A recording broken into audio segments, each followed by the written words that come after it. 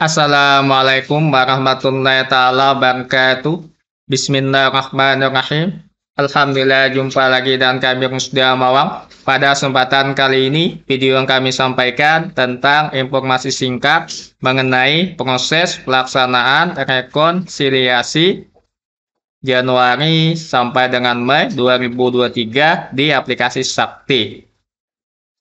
Untuk suratnya, teman-teman, sudah ada dari Direktorat Jenderal Perbandaran Kementerian Keuangan Republik Indonesia nomor IS garis 18 garing PB garing PB titik 6 garing 2023 tanggal 26 Mei 2023 H.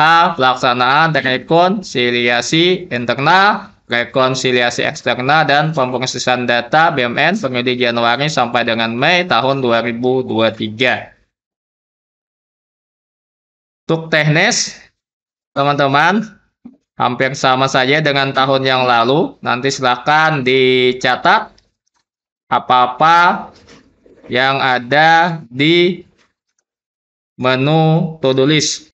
Nanti silahkan teman-teman satuan kerja masuk Monsakti tahun 2023 dengan dengur laporan satker. Ingat rollnya laporan satker. Silahkan nanti dipilih menunya to-do list di sini nanti bisa terlihat apa-apa yang harus kita kerjakan sebagai pengguna sakti. Terutama di bagian pelaporan nanti. Jika tugasnya sebagai pelaporan, silahkan dilihat apa saja yang perlu dikerjakan atau dicatat transaksinya. Untuk lebih detail, nanti silahkan tampilkan lebih seperti biasa teman-teman, biasanya jika ada transaksi persediaan yang belum didetailkan, silahkan didetailkan. Jika ada belanja mudah seperti aset, pencatatan transaksi aset, dan lain sebagainya, silahkan dicatat di sakti, di aset tetapnya. Nanti dipantau lagi teman-teman di sini direkonsiliasinya. Ada rekon internal dan juga rekon sakti span. Nanti pastikan teman-teman, terutama untuk Januari sampai dengan April tidak ada lagi yang berwarna merah. Seperti ini. Jika berwarna merah ini berarti ada yang belum dikerjakan atau belum didetailkan teman-teman. Untuk proses SHR nanti teman-teman akan terbit sesuai dengan jadwalnya tadi bisa download di bagian menu di kolom SHR ini teman-teman. Dan juga yang paling pastikan tadi diingat teman-teman untuk saldo awal. Dicek terlebih dahulu saldo awalnya. Untuk mencek saldo awal teman-teman biasanya kami mencetak di sini di laporan laporan keuangan kami cetak biasanya di bagian laporan tambahan.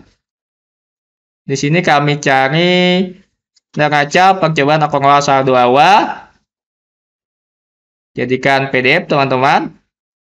Pilih bulannya Januari, kita kirim untuk tahun 2023. Nanti sebagai pembandingnya teman-teman, biasanya kami cetak laporan audited periode 14 tahun 2022. Ini keluar, biasanya kami ganti tahun anggarannya. Kami masuk lagi ke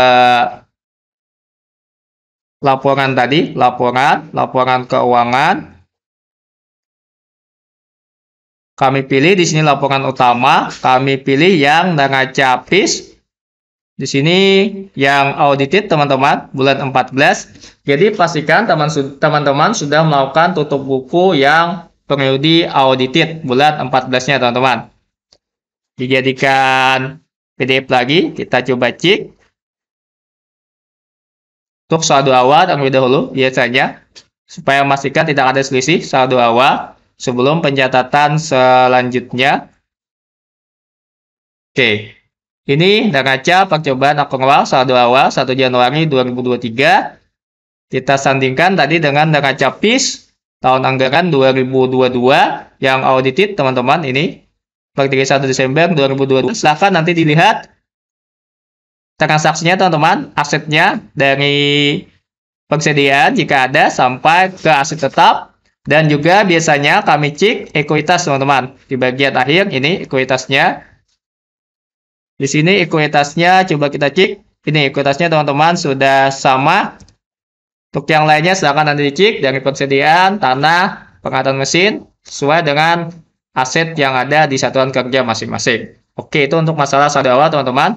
Yang lainnya tadi silahkan dipantau di to listnya di tahun anggaran 2023-nya tadi. Silahkan catat transaksi apa saja yang belum dikerjakan atau didetailkan atau dicatat. Untuk masalah di aplikasi GLP-nya, Sakti GLP, nanti silakan ditutup sementara saja teman-teman. Berurutan teman-teman, ingat tutup bukunya harus berurutan, baik aset tetap ataupun persediaan.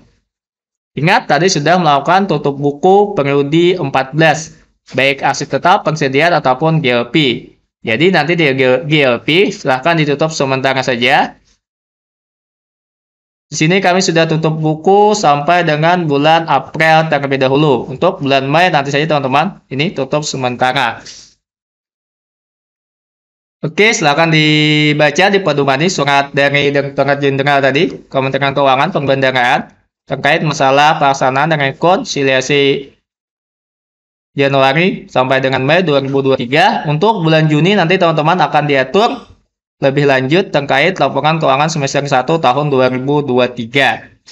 Ini waktunya tadi, silahkan diingat-ingat teman-teman untuk pengenaan sanksi di sini TMT 16 Juni 2023 untuk periode Mei 2023. Jadi simpulannya teman-teman secara teknis untuk masalah rekonsiliasi ini tidak jauh beda dengan tahun yang lalu. Silakan dicatat sesuai dengan transaksi yang ada. Pastikan pencatatannya tepat dan benar, teman-teman. Jika ada kesalahan, bisa nanti dilakukan koreksi ataupun yang lainnya.